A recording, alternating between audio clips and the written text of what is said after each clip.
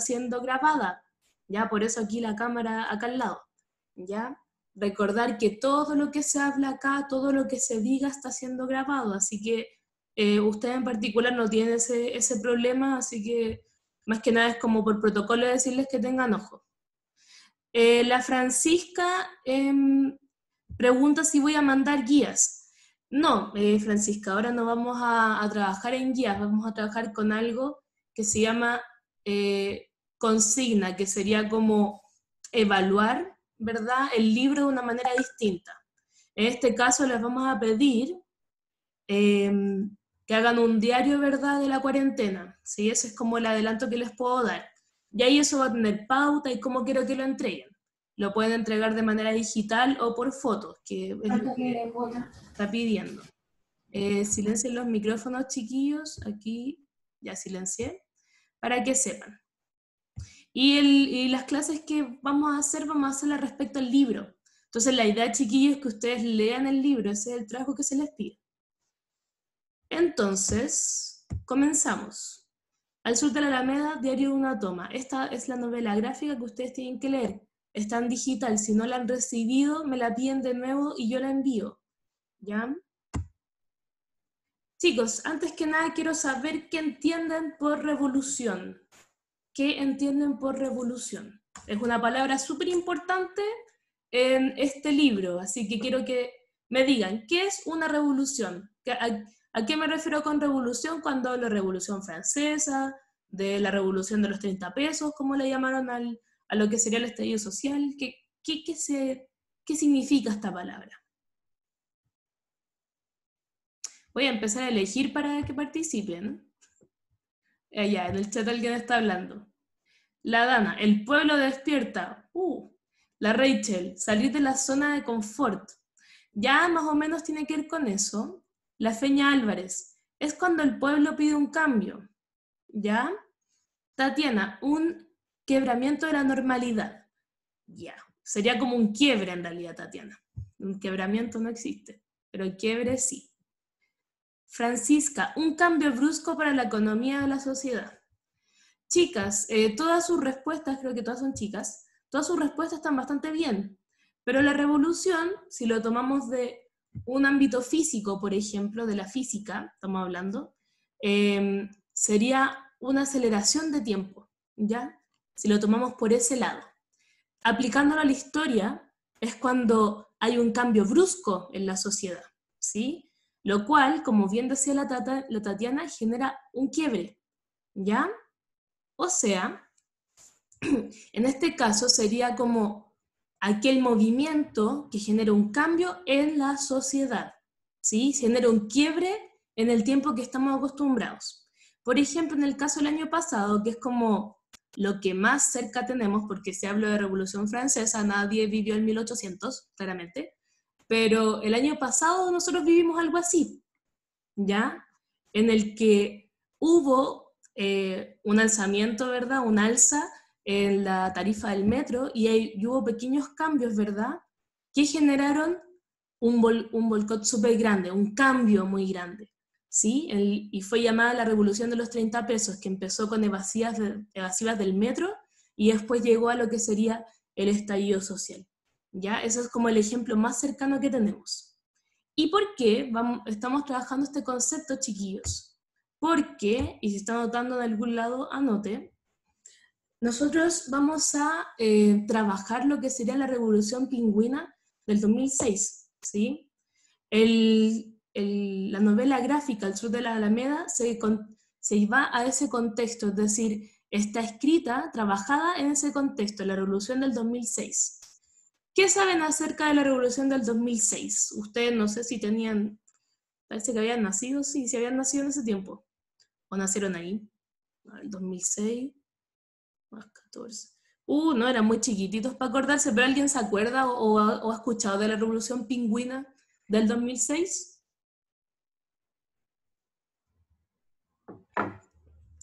Eso, ahí está el chat.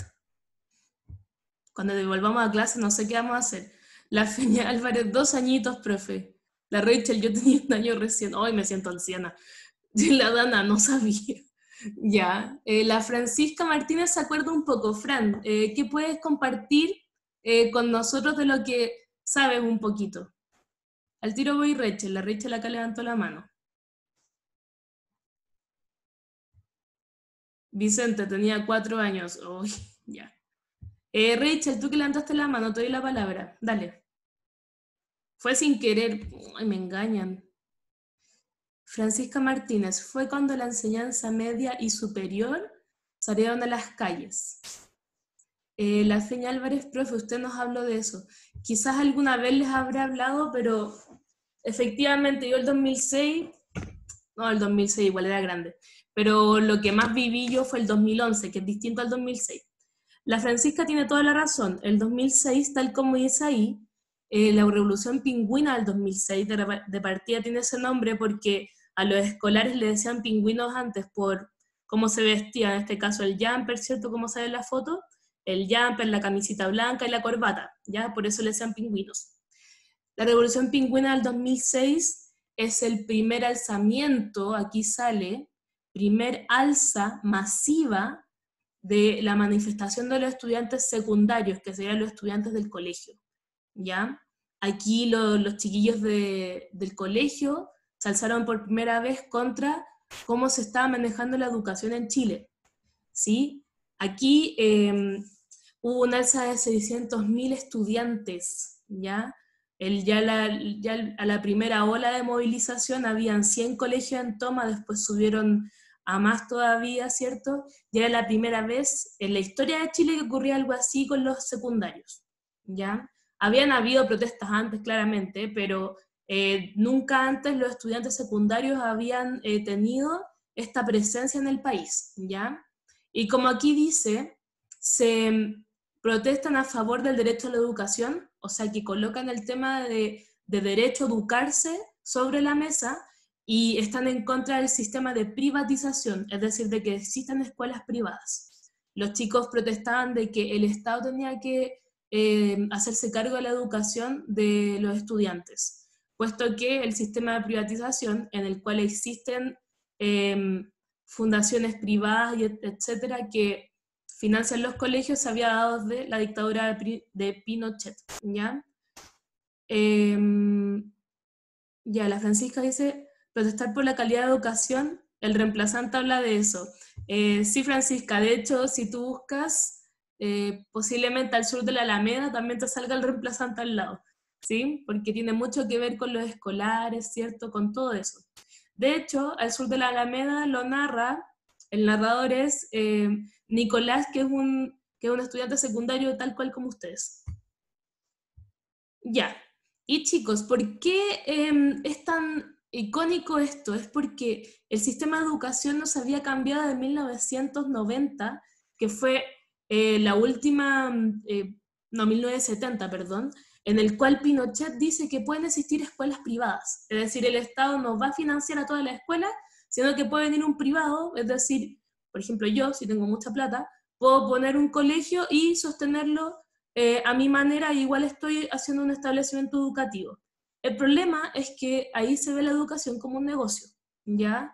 Entonces los chiquillos comienzan a aquí a cuestionar eso, de por qué en las escuelas privadas además hay una brecha tan grande con las escuelas municipales.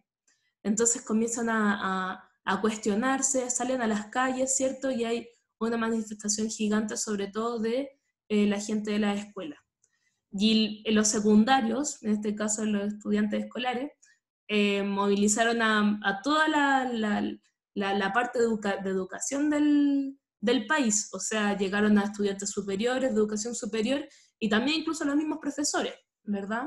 Que también cuestionan este, este modelo que estaba desde la dictadura, o sea, desde la dictadura no se había cambiado la manera de educar a la gente. Entonces ahí también hay un tema total. Ya, ¿y cuánto duró este movimiento? Ocurrió entre abril y junio del 2006 y se reactivó entre septiembre y octubre. ¿Qué pasa? Que en abril y junio del 2006, ¿cierto? Eh, fue un movimiento con mucho arrastre, eh, marcó mucho ese año, y después se bajó un poco el movimiento como en julio, ¿verdad? y se volvió a reactivar, pero esta segunda ola no fue tan grande como la primera. En todos lados salía, yo me acuerdo así, y yo no era tan grande, iba como por ahí por la media, ¿verdad? Que no cachaba mucho, no era como ustedes, que ustedes cachan más que yo, es verdad. Em, yo me acuerdo de esa época que eh, tú veías la tele, los noticiarios y todo el rato salían los este tipo de fotografías, los chiquillos, ¿cierto? Aquí el tema de con los carabineros, ¿verdad? De hecho hubo un escándalo de, si ustedes lo googlean, de una niña que se llama María Música, que le echó agua, un, jarro de agua a la ministra de Educación de ese tiempo, ya en la cara real. Entonces ahí hubo un gran debate entre los que apoyaban el actuar de esa niña y los que decían que no, que no estaba correcto. ¿sí? Así que ahí si lo quieren googlear como para, para acordarse de algo de ese tiempo, bienvenido sea. Ah, y aquí también hablamos de eh, la LOCE. Ay, me pasé, me pasé. Hablamos de lo que sería la LOCE. Aquí liceos en tomas, ¿cierto? Fueron a la moneda los chiquillos. Y las tomas siempre se, se caracterizan por tener la silla afuera, ¿verdad? Y todo el tema. Como es, es como el simbolismo de que estamos en toma. ¿Y la LOCE qué es? Es la ley orgánica, ¿sí? La ley orgánica constitucional de enseñanza. ¿Por qué la LOCE salían todas las pancartas o en todos los panfletos de eh, protesta? Porque la LOCE fue la última ley que promulgó el gobierno militar, ¿ya? La promulgó en el 90, como un día antes de que Pinochet entregara el poder, salió esa ley, ¿verdad? Que Em, permitía la libertad de enseñanza, es decir, que siguiera la privatización de la educación. Entonces los chiquillos encontraban, en ese momento también cuestionaron que por qué seguíamos una ley que se había promulgado un día antes de que volviera la democracia. O sea, fue como lo último que las autoridades tiraron como para que siguiera el negocio privado de educación. Y decían, en palabras de ellos, que se privilegiaba más el dinero que, el derecho a la educación. Es decir, que el que puede pagar tiene mejor educación que el que no puede. Y eso promueve la desigualdad. ¿sí? En sí, si lo vemos con lo que sigue hoy en día, eh, no es muy distinto. ¿ya? Así que eh, igual es como, no es tan lejano lo que se pide hoy. Y ahí la Francisca dice, es verdad, si cada uno tiene su, su opinión, pero en realidad lo, lo que no podemos ignorar, y eso estoy de acuerdo con la Francisca, es que hay diferencias y las siguen habiendo y piensen que ustedes tenían un año cuando pasó esto y se sigue hablando de lo mismo, entonces eh, es algo para pensar, ¿sí? Y bueno, y aquí unas portadas de diario, ¿ya? De algunos rostros de, de esta movilización. Estudiantes irrumpen eh, por, la moneda para protestar, y aquí algunos titulares, cabros no se suban por el chorro, estudiantes rechazaron el ofertón de Michelle Bachelet. Este fue eh, un, como una súper polémica porque los chiquillos pedían varias cosas, pedían pase escolar gratis, pedían eh, que el Estado se hiciera cargo de, de, la educación superior, no, de la educación, de la educación media, ¿cierto? Y pedían que más que nada pase escolar gratis para los, secundarios, porque hasta el día de hoy, em, hasta octavo básico creo que es gratis y en media no. Entonces ellos pedían lo mismo. Y pedían varias cosas, la verdad que no distan de lo que, se, lo que se sigue pidiendo ahora, de que el Estado se haga cargo de la educación, de que ya no existan más escuelas privadas, etcétera, etcétera. Entonces aquí eh, Michelle Bachelet los cita a la moneda, a los representantes de, de este movimiento, y ellos rechazan su oferta. ¿ya?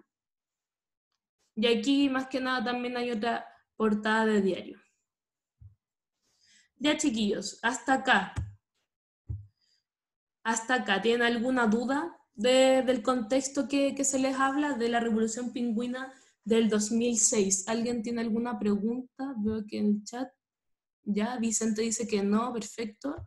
¿Alguien tiene alguna pregunta, algo que quisiera saber? Sayen, perfecto, ¿cómo están? No, Constanza Ramos, no, ya. Hay como 100 no.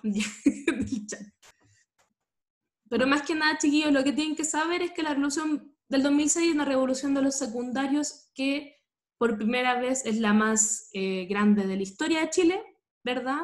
La protesta más grande de estudiantes eh, por primera vez en la historia de Chile. Y eh, se cuestiona la educación propuesta en dictadura. ¿Ya? Eso. Ahora vamos con la eh, ficha técnica del libro, Al sur de la Alameda, Diario de una toma. Ya, este es el nombre, ¿cierto? Lo acabo de decir.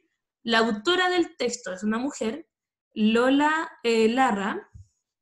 También ella trabaja con el ilustrador que es Vicente Reina Montes. Y el género es novela ilustrada.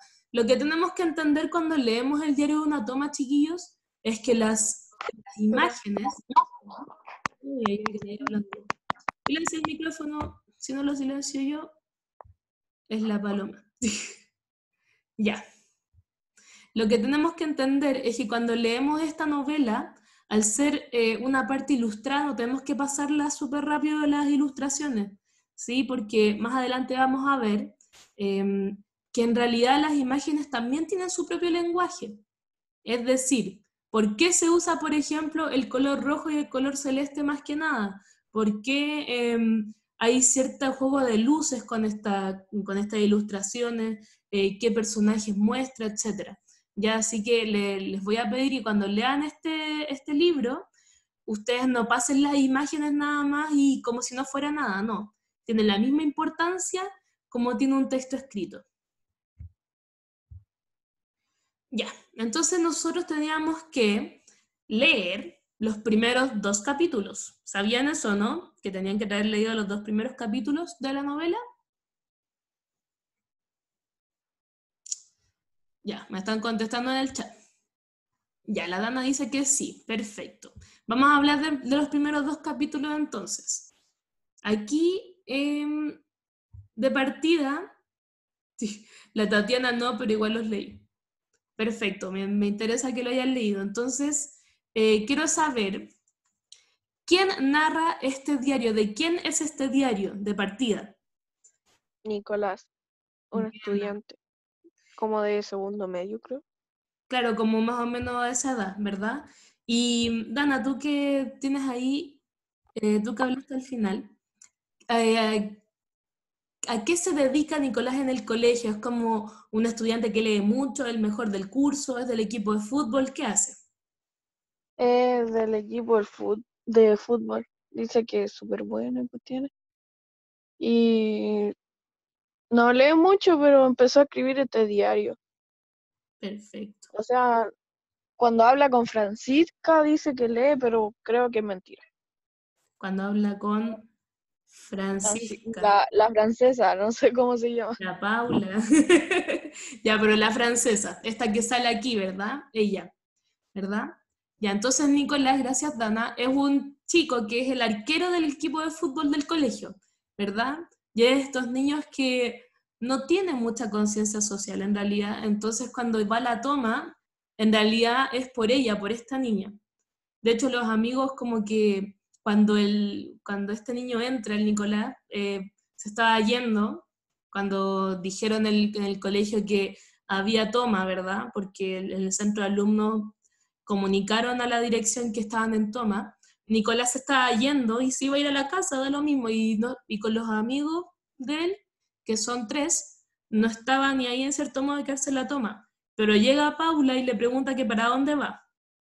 Y él se devuelve y se queda en el colegio, ¿cierto? Entonces en sí, eh, que él esté en la toma es algo de partida que es extraño, pero tampoco los estudiantes lo, lo miran de una manera mala, sino que es curioso, ¿verdad? Ya chicos.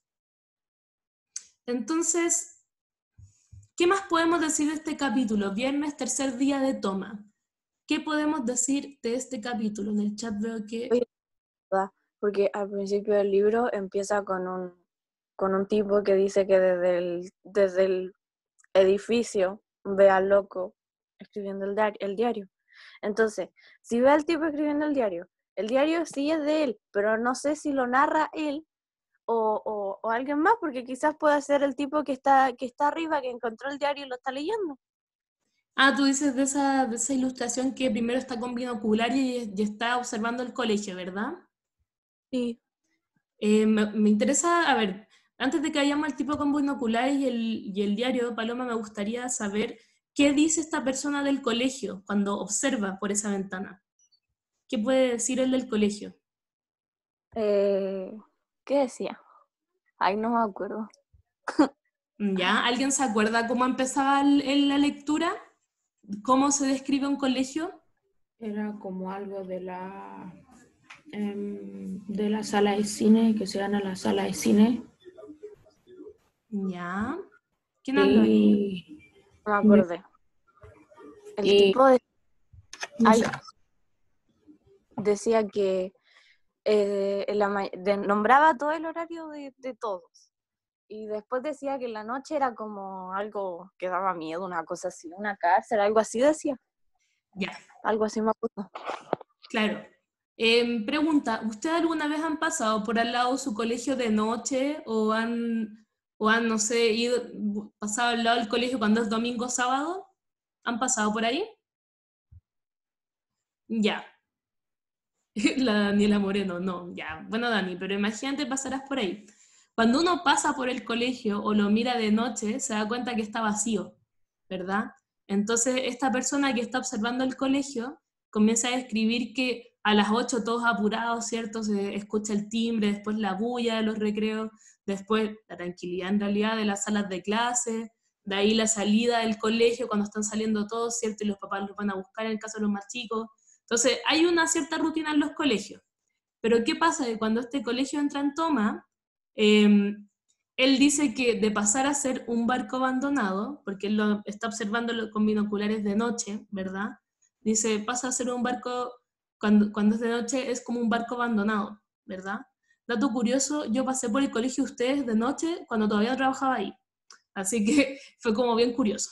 Pero el tema es que en sí, cuando llega la toma, la rutina se quiebra, ¿verdad?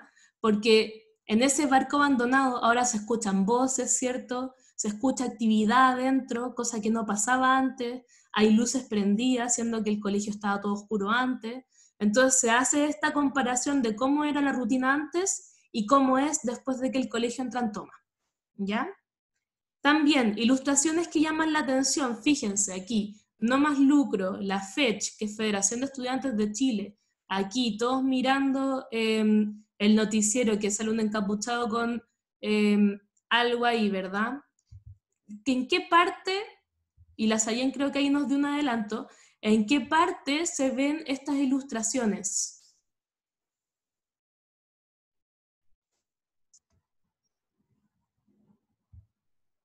Gracias, gracias, no se moleste. Alguien que haya leído, ¿en qué parte se ve esta ilustración?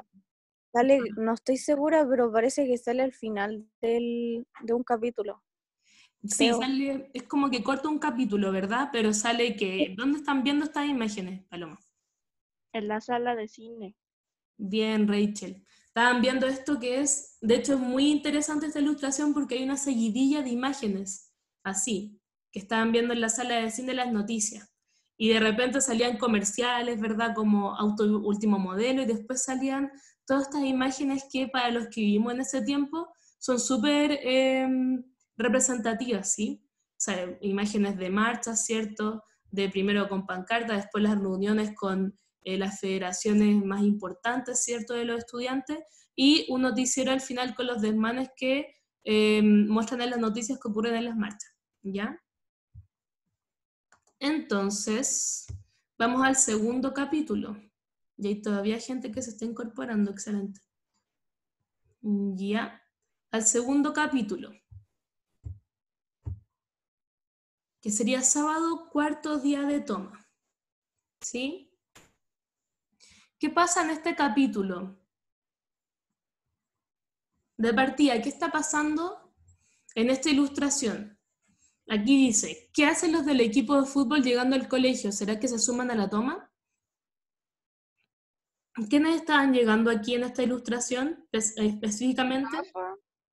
Estaban del equipo de fútbol. Los amigos del de Nicolás. Ya los amigos de Nicolás, creo que la Rachel ahí dijo Rafa y la Tatiana dijo los amigos de Nicolás también por el chat. Efectivamente, y según lo que hemos hablado, los amigos de Nicolás estaban como comprometidos con la toma. No, pero iban a llevarle completos. ¿A quién? Pero para ellos, para mí nomás. A Claro. Nicolás. Pero, ¿por qué, se, ¿por qué en ese preciso momento ellos deciden ir a la toma? ¿Qué estaba pasando en la toma?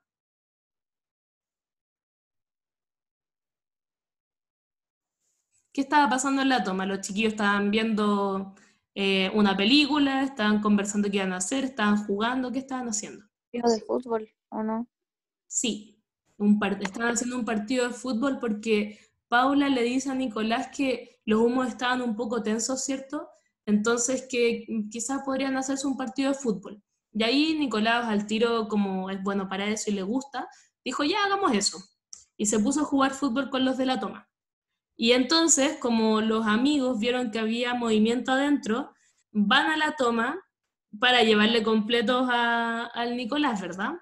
Pero ¿qué pasa en la puerta de la toma? Y esto es lo que eh, me interesa que comentemos. ¿Qué pasa cuando ellos intentan ingresar al colegio? No pueden entrar.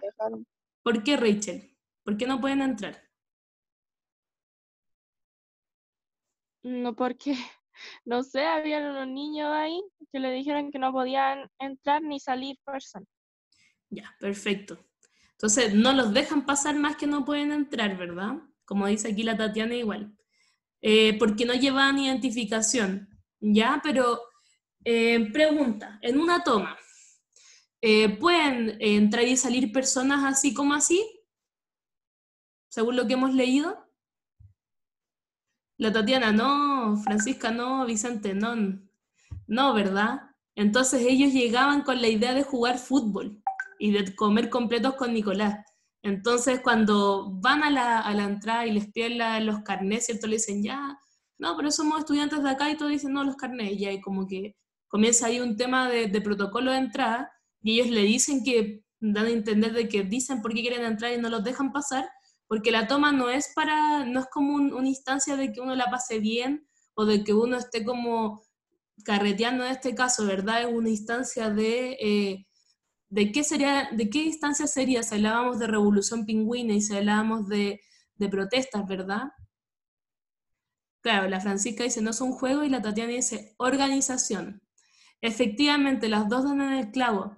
No es un juego, no es para pasarla bien, ¿verdad? Es para organizarse y ver qué van a hacer, cuál es el siguiente paso en esta revolución.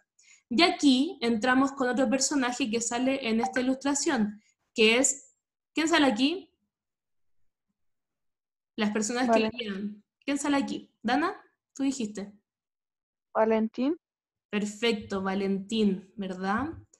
Entonces, Tatiana, el director, no, cerca, pero no.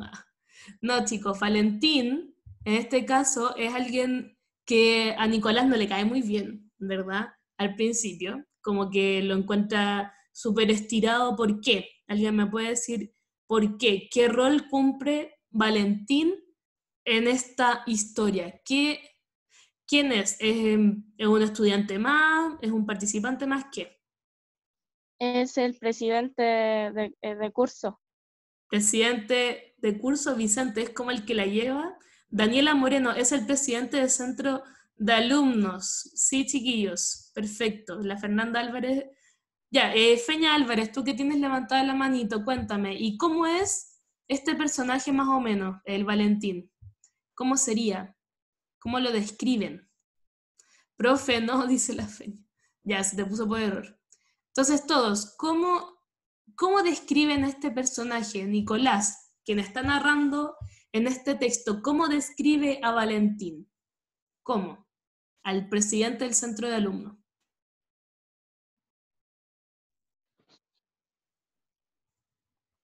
¿Cómo lo describe? Eh, aquí, a ver quién habla en el chat. Fernanda Álvarez, es un perno. ¿Ya? Eh, pero, pero en la toma sigue siendo un perno, así como, como lo describe el, Nicolás, o es como, como dice Vicente aquí, como el que la lleva.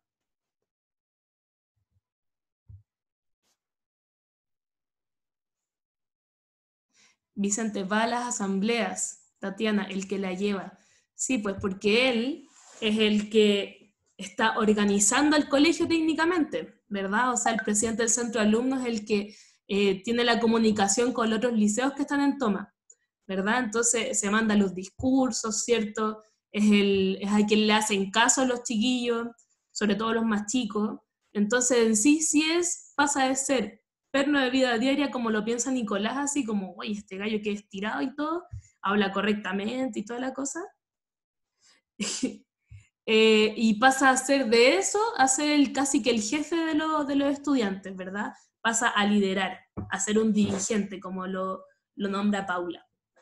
Entonces, ahí la, la Francisca dice, no es por nada, pero parece de 30.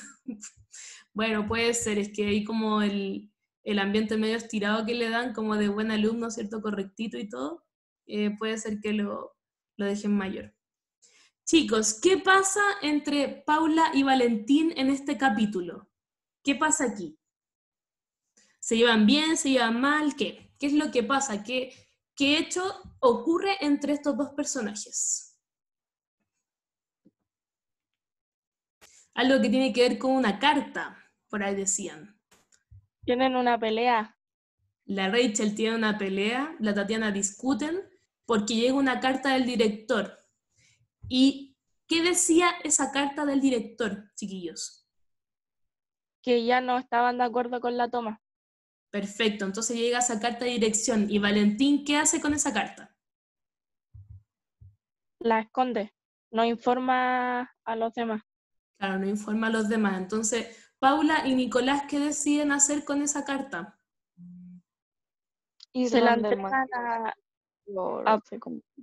se la entregan al, ¿cómo es que se llama? Al que hacía como las noticias, un, un, el que se encargaba de escribir lo que pasaba en, en, la, o sea, en, los centros de alumnos. ¿Verdad? El que, el que llevaba el blog, ¿verdad? El que le hacían el mangueras.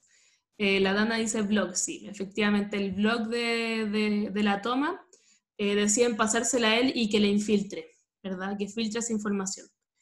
Entonces Valentín llega a la asamblea con todos súper consternados, ¿verdad?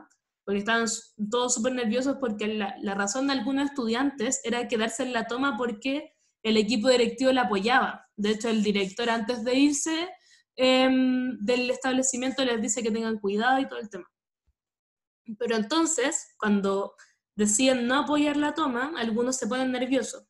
Y llega Valentín a la asamblea y calma un poco los humos y dijo así como, hoy sí, por eso publicamos la carta, para que todos supieran, como que no dejó que, que como, que no dejó de, de ay, me, me explica mejor. No dijo la verdad, sino que lo dejó como que él había publicado eso, siendo que Paula y Nicolás filtraron esa, esa información. Más que nada porque en estos movimientos chiquillos como de Revolución Pingüina y todo, de hecho, Paula habla de eso, de que tienen que organizarse y mantenerse unidos. Claro, Vicente hizo, trató de quedar bien. ¿Y cuál es la reacción de, la, de Paula después? ¿Ella sigue con esta, con esta parada de, de estar enojada con Valentín o prefiere arreglarse con él?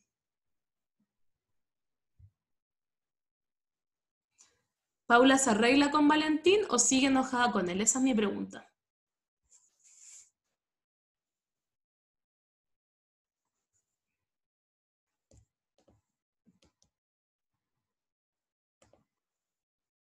Es que no se sabe porque mientras estaban en la reunión, eh, Paula se fue. Incluso Nicolás salió a buscarla, pero no la encontró. Perfecto. Pero, por ejemplo, no está muy bien, Rachel. Eso fue lo que pasó, que Paula se retiró de esa reunión, ¿verdad?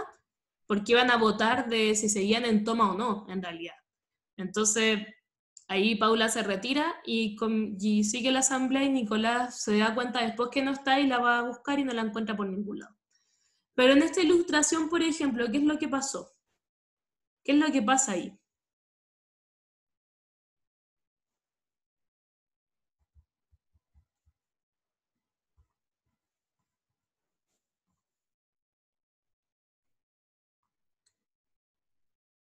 Dato bastante importante, ¿qué es lo que pasa ahí?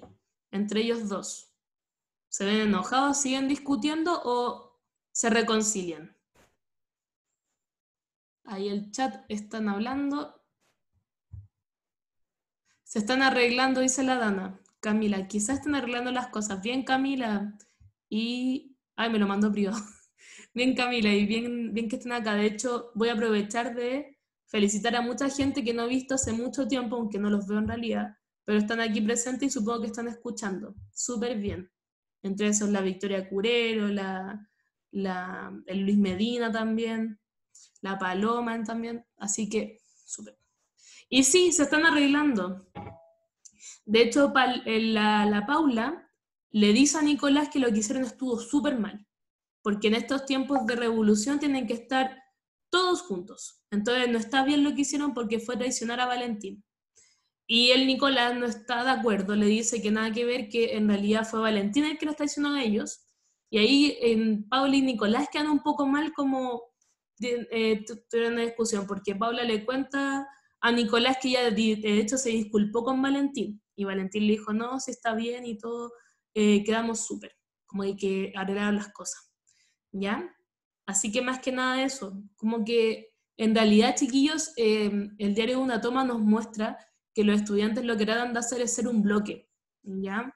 De que tratan de organizarse entre ellos para, para que no hayan diferencias porque están por la misma causa en realidad, que es protestar contra la educación, cómo se está llevando la educación. La Francisca, no sé qué, qué, puso aquí, que es Michael y Flavia, no tengo idea. ok, ya chicos. Entonces, siguiendo con,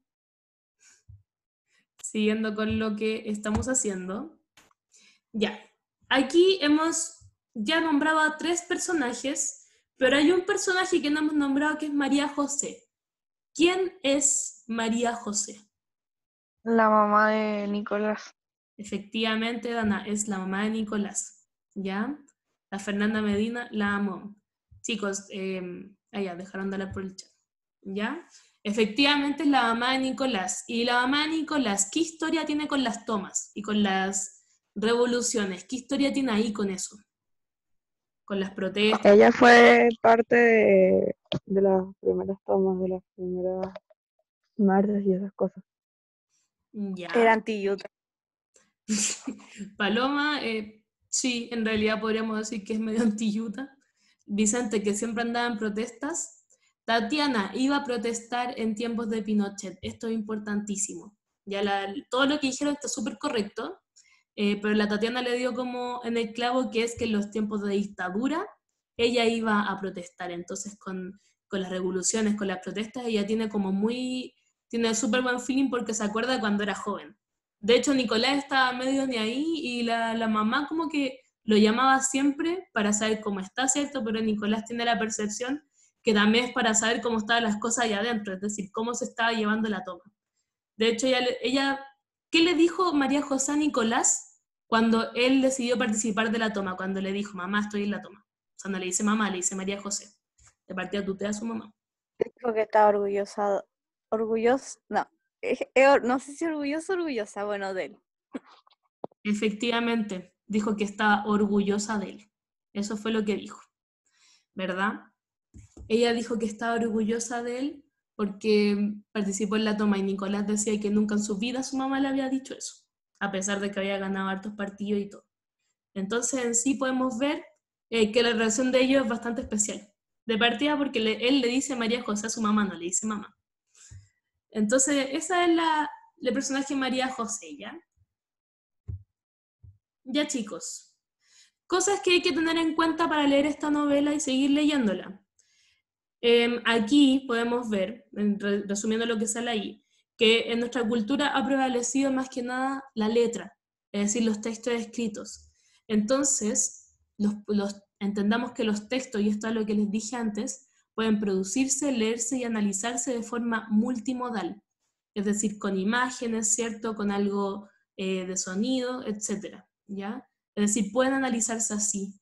Y la idea de esto es que ustedes hagan, un análisis multimodal, es decir, que se entienda que hay, por ejemplo, cuatro elementos aquí de análisis, que sería voz narrativa, las imágenes, los planos y los colores, ¿verdad? En la voz narrativa, ¿quién narra? Ya todos sabemos. ¿Quién narra?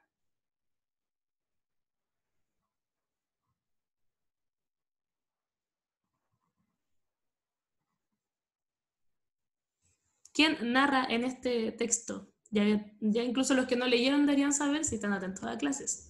Nicolás, ¿verdad? Y que narra Nicolás, ¿qué produce? ¿Verdad? ¿Desde dónde narra? ¿Desde el interior de la toma, desde el exterior, desde ambos espacios? ¿Desde dónde? Hasta ahora, lo que hemos leído.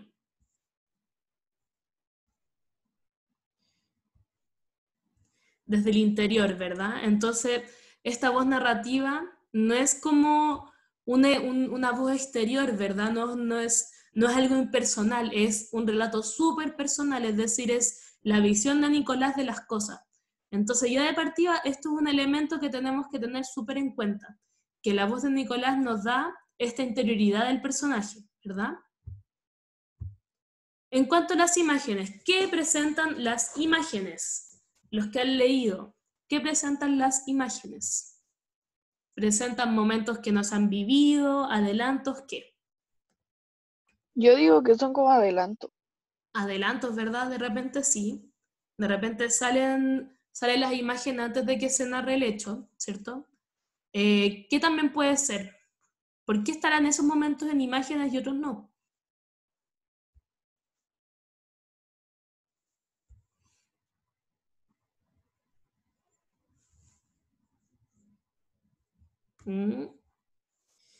¿Por qué estarán esos momentos en imágenes y otros no? En el chat. Claro. Camila, quizás momentos que a él le causó intriga también. Son momentos importantes, ¿verdad? Momentos que se destacan. De hecho, también hay varias ilustraciones que demuestran el día a día de la toma. Por ejemplo, cuando hacen los carteles, cuando Paula eh, muestra la rutina de Paula en la mañana, así cuando se viste, cuando se peina, todo eso. Todo es el día a día de la toma. Imágenes. ¿Se les hace cercano alejando el mundo representado en las imágenes?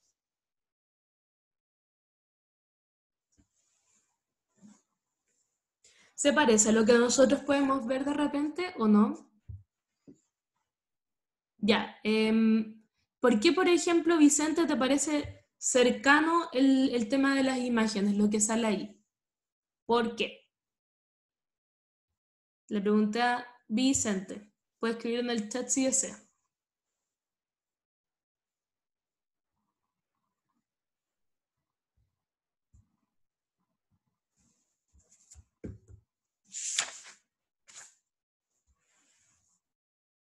Eh, parece que respondió. Claro, porque es lo mismo que se viene en las marchas actualmente. Y también es lo mismo que ustedes como escolares pueden ver. Hay está en un colegio, ¿cierto? Hay un chiquillo ahí están todos con uniforme, ¿verdad? Etcétera, etcétera. Ya, y esto también podemos, es parecido a lo que respondieron aquí. Pueden reconocer aspectos en sus entornos cotidianos en ella. Por ejemplo, el tema del colegio, ya que estén inventando un colegio, bueno, quizás ahora no, pero en nuestra cotidianidad es súper normal, ¿verdad? Estar en un entorno escolar, ¿cierto? De hecho, estar en nuestras casas es como lo raro, ¿verdad? Eh, también el tema del uniforme, el tema de, cómo los chiquillos, eh, ay, cómo esto es, cómo conversan entre ellos, ¿cierto? Todo el tema, interactúan entre ellos.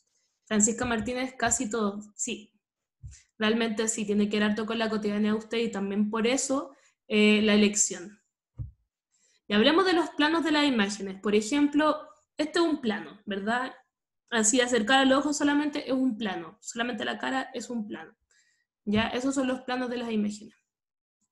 ¿Qué tipo de planos o tomas se presentan en esta, en esta novela? ¿Qué tipo de planos se presentan en esta novela? ¿Primer plano, cierto? ¿Plano general? ¿Qué?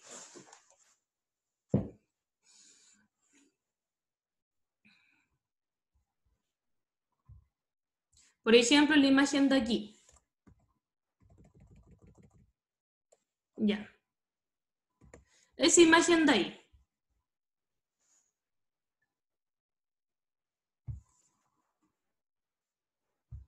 Esta imagen de aquí, chiquillos. ¿Qué plano es?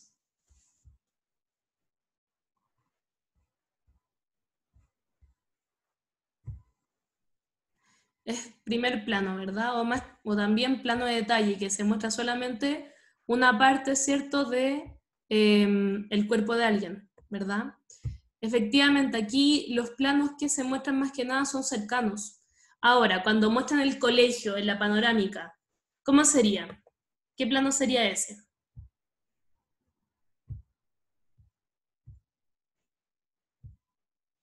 Plano general, sí, o, o, plan, o panorámica, que muestra como una gran, eh, un gran panorama, un, un gran espacio, ¿cierto? Eh, de un paisaje, un establecimiento, una construcción, ¿verdad? Entonces pensemos, la idea de, de, analizar esto es que pensemos que todos los planos también son intencionados, ¿sí? Por ejemplo, el plano de detalle que veíamos con, con el puño golpeando la puerta es precisamente para eh, destacar la, la, la, la, acción de que lo, los amigos de Nicolás golpeaban la puerta, ¿verdad? Y después se muestra un primerísimo plano que no sale ahí, pero después salen las caras de los niños que reciben a eh, los amigos de, de Nicolás y salen solamente los ojos de las personas. Entonces también es como un plano, como que no se muestra la cara de los personajes, ¿verdad? Entonces todo está intencionado, ¿sí? ¿Qué relación pueden observar entre los acercamientos y los alejamientos de la cámara y la narración? ¿Qué pueden, qué pueden observar ahí? ¿Qué relación puede haber entre cómo se acerca o aleja eh, la cámara, según lo que Nicolás está narrando? ¿Se lo habían preguntado antes o no? Eso, ¿de qué tiene que ver cuán lejos esté la imagen o cuán cerca esté?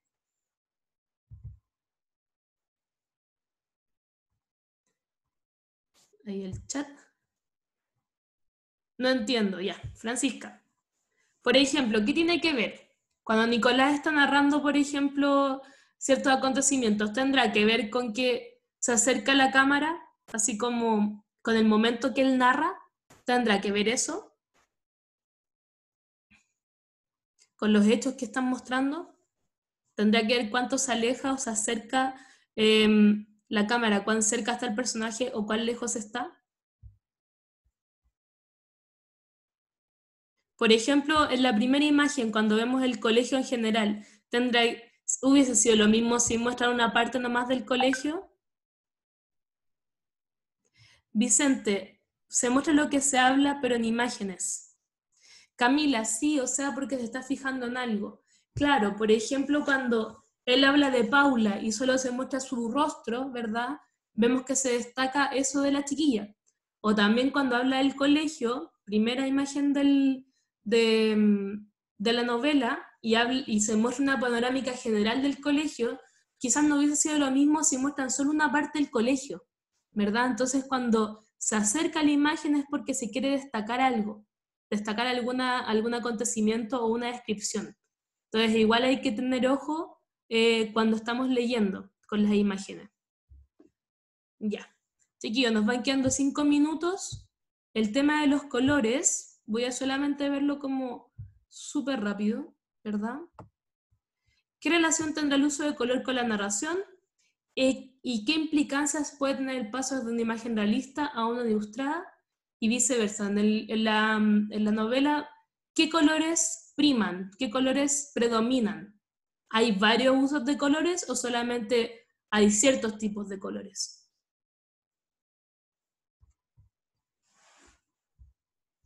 Ya, el chat está hablando de nuevo. No sé, ¿qué vamos a hacer cuando hablamos a clase? ¿No me pueden escribir? Rojo y azul, azul, blanco y negro, rojo también, negro, sí. Más que nada va como una paleta de rojo, negro, azul y blanco, ¿verdad? De repente se muestra una, una escena súper realista, como es el caso del colegio, y de repente una más ilustrada, ¿verdad?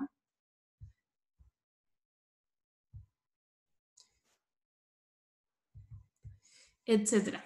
Entonces, chiquillos, también ojo con fijarse en el color, ¿ya? De qué tipo de imágenes nos está mostrando la novela, ¿ya? O sea, ya vimos que al menos con la narración tiene que ver con todo esto, con las imágenes, con los planos y con los colores. Esa es la conclusión que quiero que lleguen ustedes cuando lean esta novela. Ya no quiero que solamente se fijen en la voz narrativa, que sería el texto escrito. Quiero que se fijen también en las imágenes, ya que eso les va a servir mucho cuando hagan su propio diario, que es la idea de, de la lectura de esta novela. Profe, ahora que digo hacer nuestro propio diario, ¿va a ser que hagamos un diario? Sí, pues. Esa es la, Ah. la lectura de esta novela, pero no es como un gran diario, ¿ya? Tampoco quiero que, que se vayan como... Tampoco quiero que se vayan como pensando que tienen que hacer una, una gran producción, ¿sí? Ahí vamos a darle la extensión y todo, pero eh, quiero que vayan con esa idea de esta clase, que ustedes van a tener que hacer em, su propio diario en esta cuarentena, ¿ya? Eh, Fernanda Álvarez, en el colegio todos debían tener una mini pizarra. Y ese sería como el chat, ¿no? Pues si la idea en, lo presencial es conversar.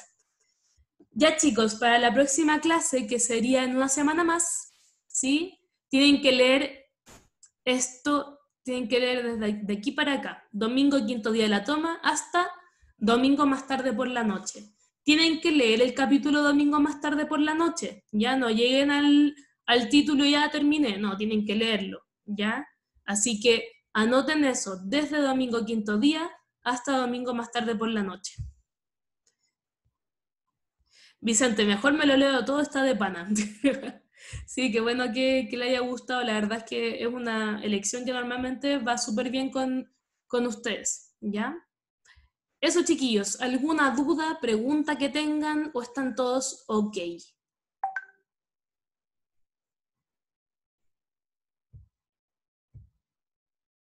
Ah, y también recuerden que esto es grabado, así que cualquier cosa la pueden ver en el canal. ¿Ya, chiquillos? Veo con él nada más en el... Ah, perdón. Cuéntenme, Paloma. La lista, ¿ya la pasaron o no? No, si ahora la voy a pasar. Ya, chicos, ah, les voy nombrando los que tengo anotados y se van saliendo y ahí em, voy, a voy a pasar a la planilla. Ya, la Rachel Ponce se puede retirar. La Fernanda Medina se puede retirar. La Connie Ramos se puede ir. La Brillicos se puede ir. La Tatiana también. Daniel Sarmiento también. Mariana Moreno también se puede ir. Vicente Hernández también. La Delia también. Fernanda Álvarez también se puede ir. Adiós. Eh, la Dana Vázquez también. Francisca Martínez, Sayen Vega. La Paloma Espinosa, la acabo de notar, también se puede ir la Camila Solorzano, también. Estoy anotando a Victoria Curero, también se puede ir. Fernanda Medina ya la eh, nombré, la Delia también. La Francisca Martínez, eh, no, no la nombró, la Francisca se puede ir, la acaba de anotar. La Evelyn Castro, también. La Daniela Moreno la acabo de notar. Jesús Díaz también se puede ir. La Angeli Cuevas, también, Angeli Cuevas se puede ir también. Martín Cáceres, también. Luis Medina y Catherine Méndez también se pueden ir.